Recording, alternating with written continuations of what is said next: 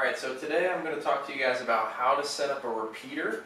Uh, and the purpose for this is going to be to set up your Linux-based mining rigs with a hardwire connection. So one of the downsides of using uh, some of these all-in-one Linux operating systems for mining like SimpleOS or ethOS, um, these ones you have to hardwire your internet and uh, for, for many people, you may not be where you can actually get access to a hard wire. So uh, I've gone ahead, I've got really good success with these TP-Link uh, routers, uh, specifically this one here, and I'll put a link to the description.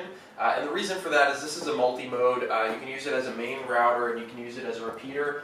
Hundreds of different types of wireless routers have a repeater function.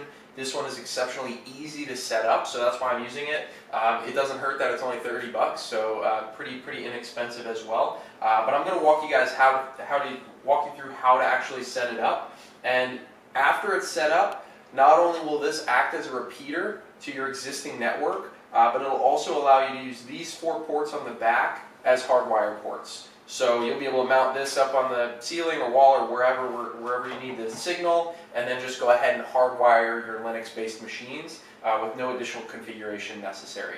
Uh, so let, let, me go ahead and dive in here. Go ahead and, and uh, plug in, if you're following along on this video, plug in your router, um, and then I'll, I'll kind of show you guys Okay, so the first thing that you're going to have to do uh, in setting this up is actually configure this device for your use. Uh, and what you're going to want to do, plug it in. Uh, this router actually has an on-off switch, so once you plug it in, go ahead and press the on-off switch here. And then you're going to connect one of the orange ports to your desktop or to your laptop and go ahead and disconnect that computer from any other networks. So in my case, I've gone ahead and I've disconnected the Ethernet cord from the desktop and then I connect this brand new router to my normal Ethernet port on the orange uh, port right here. And essentially what this is going to let me do is it's going to let me access this router without getting any, anything confused with my other router. Once you've gone ahead and connected it, go ahead and open up a web browser. And on your web browser, type 192.168.0.1. And uh, TP-Link has actually done a really cool thing. If you can't remember that address, type tpwifi-link.net and that'll actually bring this page up automatically. And once you see this page, go ahead and type admin in both of the login boxes here, and boom, now I'm into the setup of this router. If you don't get this page, when you set this up and you type in 192.168.0.1, uh, then that means that you're not actually getting a connection. So make sure that your router's on. If you've just plugged it in, make sure you wait about a minute for it to do its initial boot, so that way you can uh, actually have access to the router's firmware. Uh, and then second thing, or last thing, make sure that your Ethernet cord is plugged snugly into uh, both the port on your laptop or desktop uh, and, and the one here on the box. So once you've gone ahead and done that, uh, then we'll actually go ahead and set up what type of mode this router is in.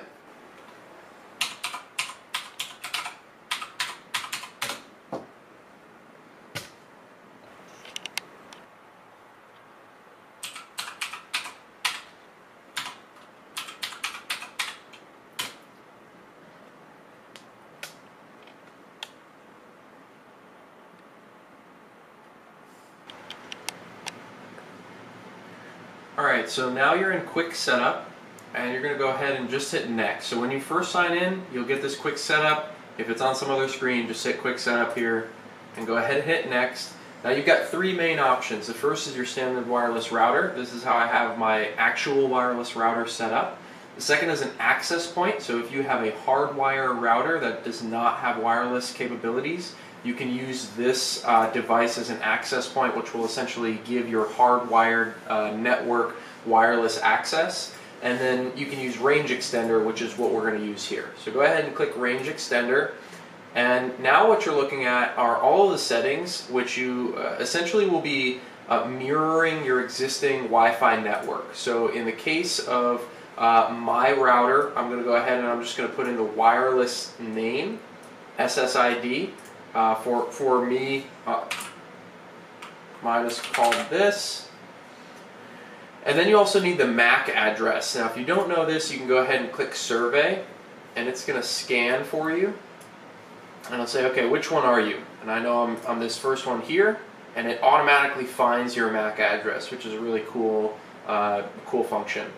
So from here, leave WD, uh, WDS mode on auto, security mode, you do want it on WPA, which should match your, your existing wireless settings. Uh, and lastly, you'll need to input your actual wireless password, uh, which is the same one that you use to hook up your to your wireless internet with with any other device. Okay, so now you're going to have the network settings screen here. Uh, go ahead and leave this on Smart IP. You're going to have a couple of options: static IP or Smart IP. Static IP will allow you to change the IP address of this uh, repeater.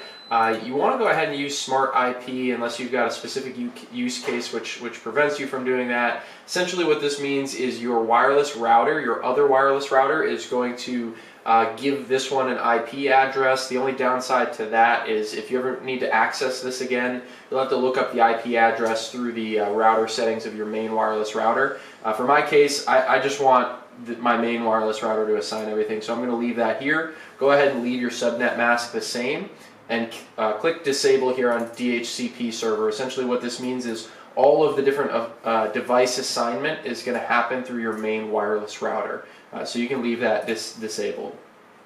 And great, now it's all set. Uh, you'll go ahead and, and, wait and then go ahead and uh, set this up in a new location in your house. And once you've gone ahead and set this up in the new location in your house, you'll not only have the stronger wireless signal in that area, but you'll also be able to connect your other computers via hardline uh, to go ahead and get that internet access. And we'll go ahead down into the uh, into the garage, and I'll show you how that works. All right, so after you guys have gone ahead and rebooted the router, and that's very important, make sure that in that last step it says reboot, go ahead and let it reboot, uh, boot down, and then boot back up. And then once it's back up, you'll have internet uh, access through here. So you take it to wherever you need your internet access, and in the background here, I've got one of my Linux machines. You can see that uh, it's currently looking for a network address. It doesn't have one, obviously, because you can't use Wi-Fi on these, and I'm down in the garage. Uh, but I'd, I'd, rather have a couple of rigs down here in the garage to load balance the amps on my house. So it's going to go through several series of blinking lights, and it'll actually turn blue once you've got internet access. So as this one's thinking, I've got one Windows machine here, and I'll show you guys kind of how I'm, how I'm doing this. I'm going to go ahead and take out my wireless adapter on my Windows machine. Go ahead and plug that in. And you probably won't be able to see it on the video, uh, but it's currently looking for an address right now. So I'll go ahead and give that a couple of seconds. And in the interim, I'll take my Linux machine, plug this into the back as well. And this is, if, you, if you're running a Linux machine, you may need to uh, actually reboot it, uh, but it should go through a connection trial every 20 seconds. So we're going to go ahead and just wait a little bit, uh, and then once these have connected back, uh, we'll come back and I'll show you that everything all working. Alright, so now you can see here uh, the internet's connected. I'm going ahead and I'm getting new work here. Uh, my, my hash rate is significantly worse on this Windows machine, which was one of the reasons I wanted to switch everything over to Linux. Uh, but this guy is up and connected. Let's go ahead and check on the Linux machine.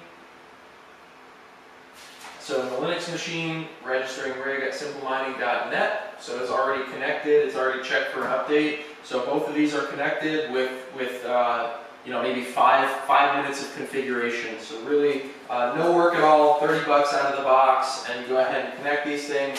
Uh, and then I've gone ahead and gotten supply of Ethernet cables. I use Cat6 cables, but really you can use Cat5e or 5 cables uh, if, if, they're significantly cheaper. Um, but these ones only cost a couple of bucks. I'll include links to all these things in the description so you guys can check them out. And if you got any questions, feel free to hit me up uh, and, and I'd be happy to answer anything that you guys have in mind. Thanks for watching.